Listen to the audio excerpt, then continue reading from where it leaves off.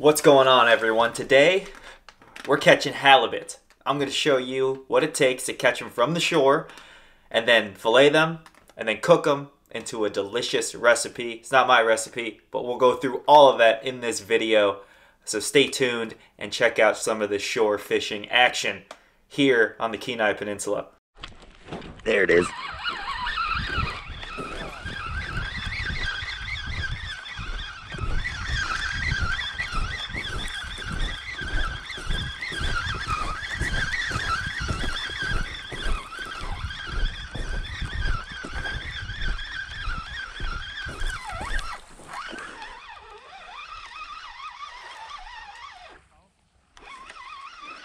Doesn't feel very big.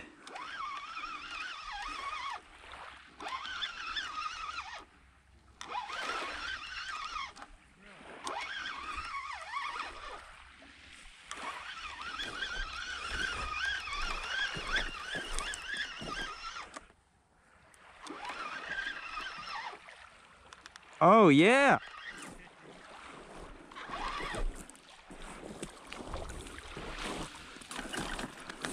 That's a halibut.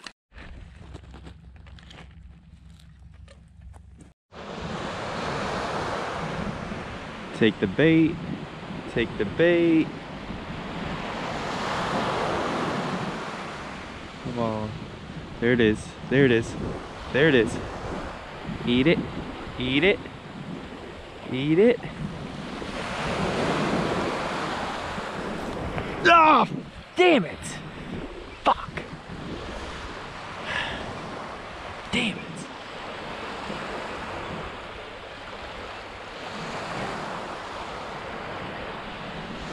Oh, oh, oh, it's still on there. It's still on there. Got him, got him, got him. Yeah.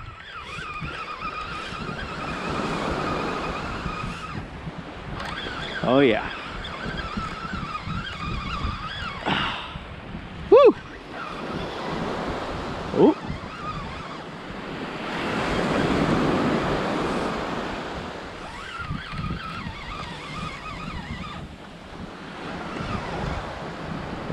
Oh, oh, oh, oh, oh,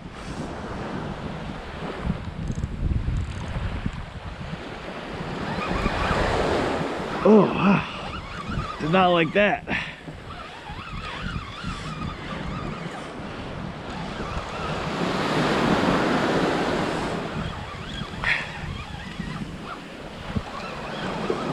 What is this thing? Looks like a shark. Oh yeah. It's a nice looking shark. Oh yeah. Oh yeah.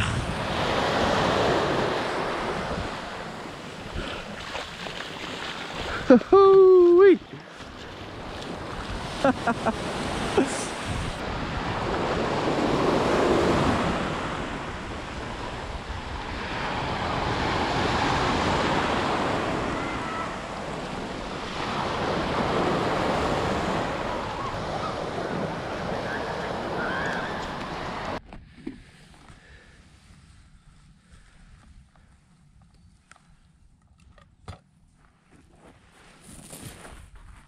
lot of people ask me what is it that I use to catch halibut off the shore.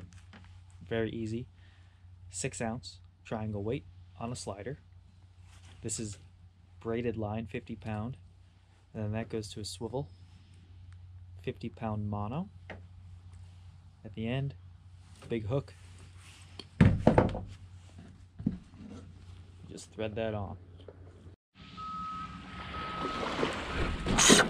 Oh!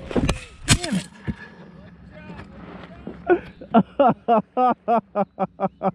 I think the line broke. Oh, yeah, really? Shit.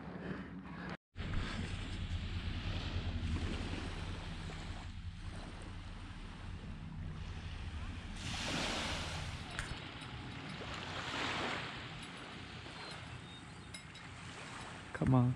Come on. Come on. Come on. Take it.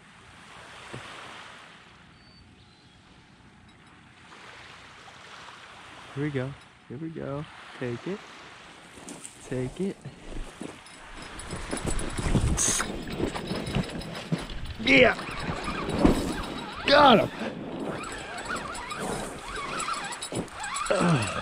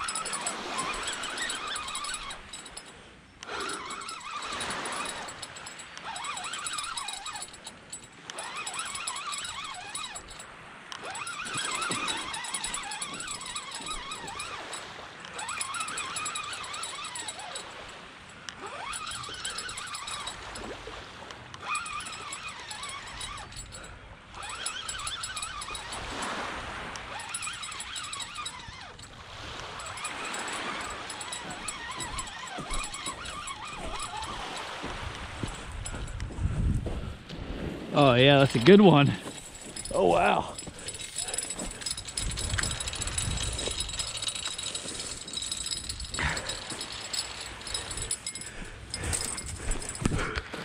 Woo! Let's fillet this halibut. First thing you want to do is wash off all the soil, sand, get some of that slime off of it. These fish are a little bit slimy, and that's just something you're gonna have to work with. Make sure you got yourself a sharp fillet knife here. Uh, and then on the white side, I like to cut the white side first. You can see the lateral line here of the fish there's a line that goes right down the middle. And on this one, it kind of curves down below the fin up to the gill plate. What I'm going to do is just cut right down the middle along that line. And it gets a little easier once you get once you get to it, you can start to feel that backbone. And what we're trying to do is just cut this fish right in half, almost like a zipper. And at this point, you want to cut straight down and slice the skin. At this part, it's a lot like filleting any other fish. Now that you've kind of cut it in half, this makes it easier to work with. You're going to cut away from you, underneath the flesh, and you'll feel the knife scraping along the bones. And that's really good. That's what you want to feel. And I always like to run my blade a couple of times before I like to go in deep. Um, what I'm doing is separating the meat from the bones. And once you get some separation in there, you can see that's coming along nicely. Oh yeah. Whoa. She's sliding. She's This is a this is a bigger halibut. I'm happy with this one. Here we go. There's that separation. That's what I'm talking about. And we'll skip ahead, but you follow the bones along the fish, and that leaves you with this beautiful halibut fillet. Look at that white flesh, boneless, just just a beautiful fish. And now we can start on the other side of this fish. I like to start from the tail to the head, left to right, whatever direction the fish is facing. And we're going to do the same thing that we did. We're going to scrape along those bones and just separate that meat off the skeleton here. And this is just such a lovely animal. This is a good size too for filleting. Wow. And it's so easy to see that separation. It's really easy. Look at that. Just like you're unfolding. Like it's like you're unwrapping a Christmas gift. Whew.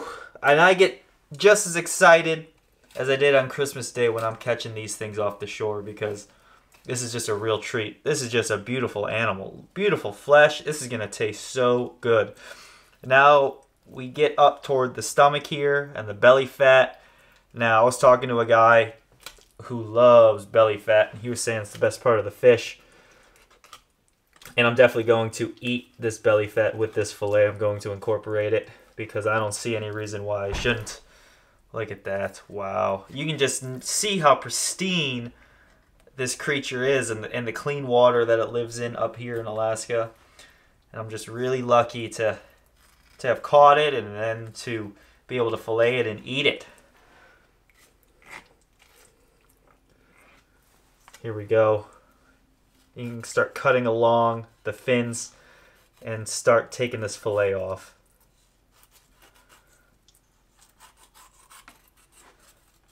Oh, it's that easy. It is that easy. There we go. That's two fillets. And don't forget, these things have pretty big cheeks, and every fish has good cheek meat, but not every fish is big enough to make it worth it to harvest. But in a halibut, you always want that cheek meat. And you can see the, the gill plate here that I'm trying to follow along with my knife. And we're just cutting we're just cutting it out. It makes a nice little oyster. Oh yeah.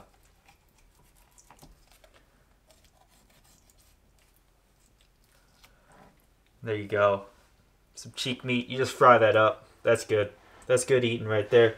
There's still a lot of meat on this head. Maybe I'll do something with that, make a broth or a soup. Okay, now we flip it over and check that out. Same thing on this side that we did on the white side. Follow that lateral line all the way down.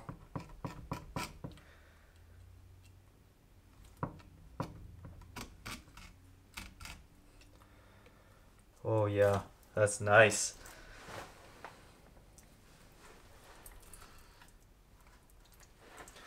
The skin does get a little tough here on the back side as opposed to the belly side, but it's not it's nothing like shark or if you've ever cut open a walleye, it's a lot thinner than walleye skin. Here we are. And now we're we're scraping along that back. Those bones. And we don't want to lose any of this meat.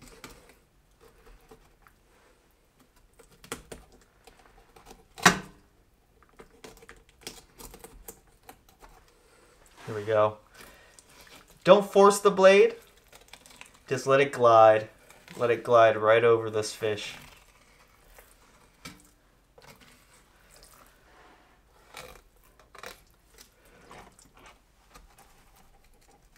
Cut all the way up to the head. Make keep that fillet coming all the way to the top of the head. There's a lot of meat up here right by the eye. Oh, there it is. These fillets are going to be a little bit thicker than the other side. But wow. This is good.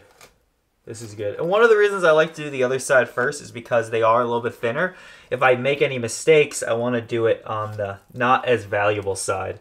And I do the same thing when I'm filleting a bunch of fish. Like I had two halibut. Before I made this video, I actually filleted the smaller one first just to get the hang of it, make sure I wasn't making any big mistakes. And I wasn't going to lose any good meat.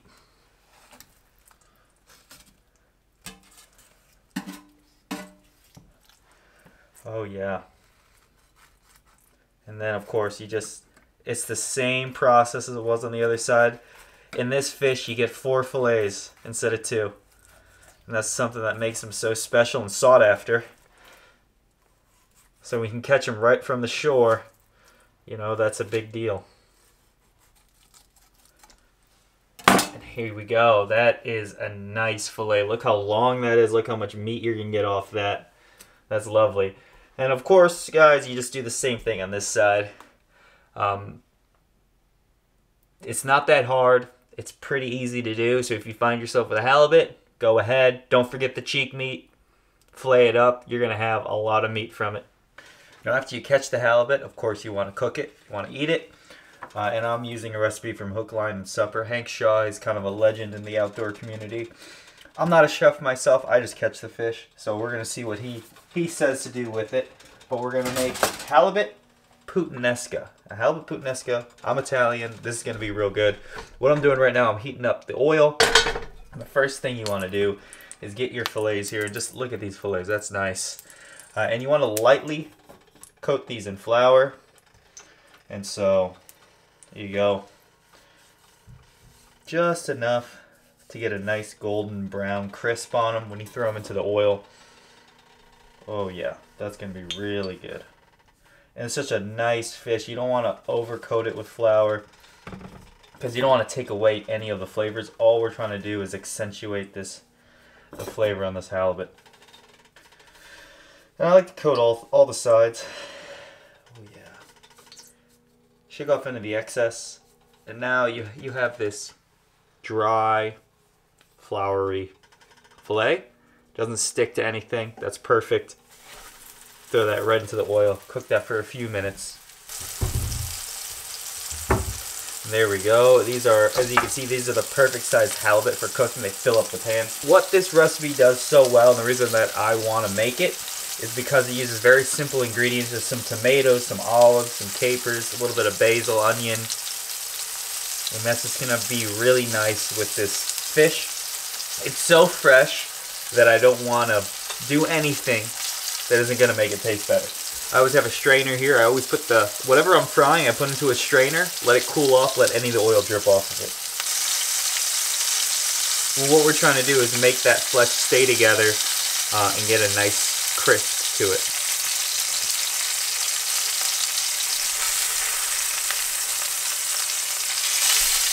There we go. That's looking really nice.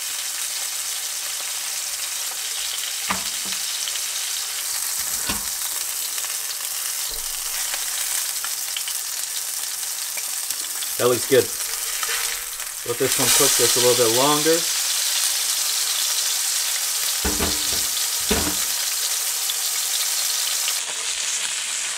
That out of the frying pan. So now we want to flash cook the onions and garlic. Just a small onion and about two cloves of garlic here. Throw that in there. Get that cooking evenly. We want to cook this for a minute.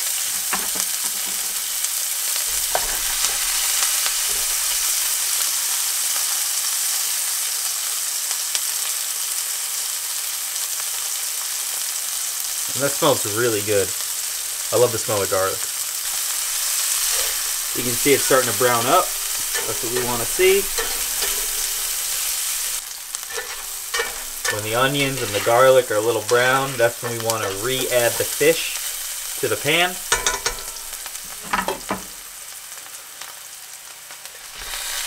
There we go.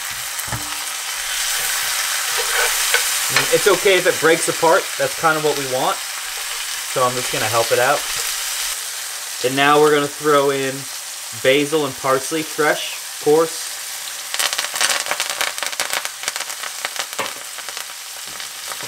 And then one can diced tomatoes. Where I live, fresh tomatoes are kind of hard to come by. But canned tomatoes, I've heard, I think they taste great. And I've heard from some people they're actually more nutritious for you. But just depends on preference.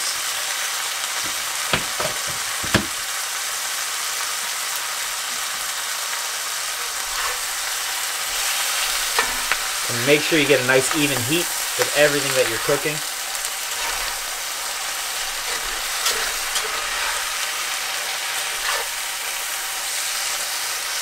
That's looking really nice. Always add olives, capers. You get that Mediterranean flavor.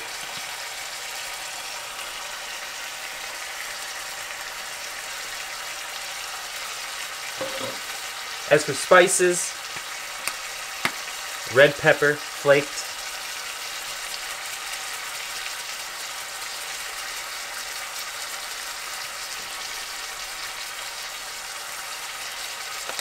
Salt. Gotta put pepper in.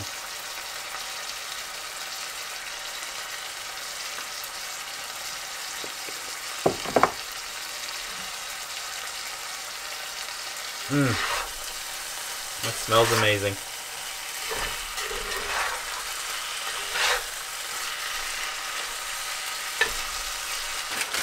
The recipe calls for a nice crusty bread. So I got this fresh sourdough from the grocery store. Oh wow. Look at that, huh? That's crusty. Wow. I'm just gonna tear it.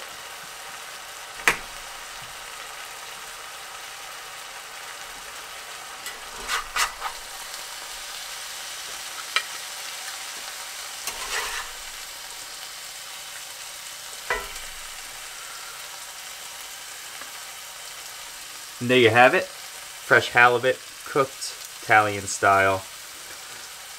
This looks really good.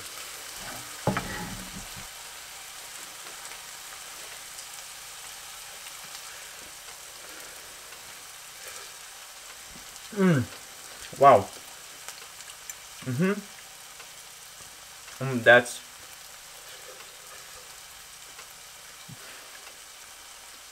That's good. That's really good. Well, guys, if you like that video, go ahead, share, like, subscribe.